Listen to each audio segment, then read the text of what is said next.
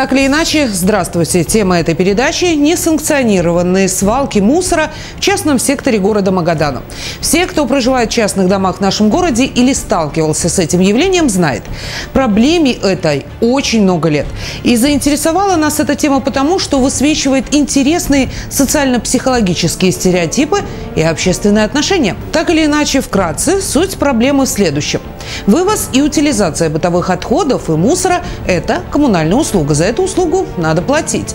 Но жильцы многоквартирных домов дисциплинированно оплачивают вывоз мусора, а вот большинство жильцов частного сектора – нет.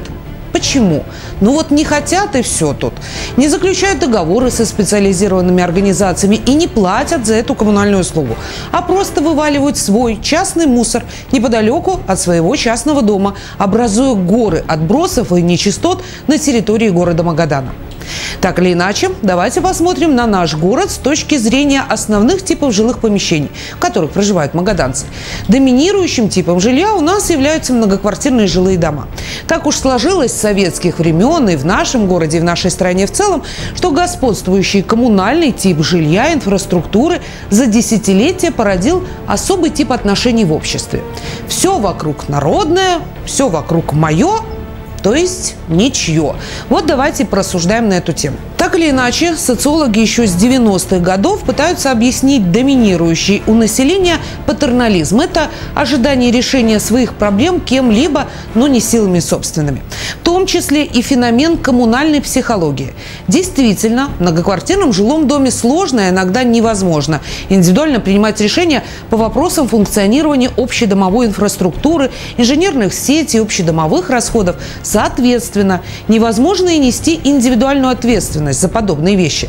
Люди многоквартирных домах вынуждены принимать коллективные правила игры, которые в советское время определялись сверху. ЖЭК или РЭУ раньше отвечали за жилищно-коммунальное обслуживание. Вывоз и утилизация бытового мусора происходит там организованно, и с оплатой этой коммунальной услуги проблем особых не возникает. Она включена в квитанцию и управляющими компаниями. Странно, правда? Психология коллективизма вроде должна мешать проявлению индивидуальной ответственности, а нет. Так или иначе, жильцы частного сектора, по идее, должны быть образцом психологии, индивидуализма и опоры на собственные силы. Кто, кроме них самих, позаботится о частном доме и его частных проблемах? Но мы видим совсем другую картинку. Почему же люди, не зависящие в обслуживании своего частного дома от других, перекладывают ответственность за вывоз своего мусора на дядю? Может быть, магаданские блогеры из частного сектора возьмутся за решение этой городской проблемы, но что-то мне подсказывает, что все-таки вряд ли. Так или иначе, дело тут, видимо, в нашей старинной русской привычке – к халяве.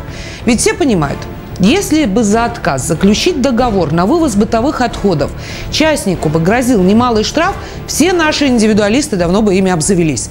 Но если можно не платить и ничего за это не будет, то зачем платить? Все логично.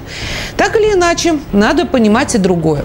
Бесплатного сыра не бывает. И вывоз мусора из частного сектора в настоящее время оплачивается только вот не гражданами там проживающими, а муниципалитетом. А деньги это народные, то есть наши с вами, дорогие телезрители.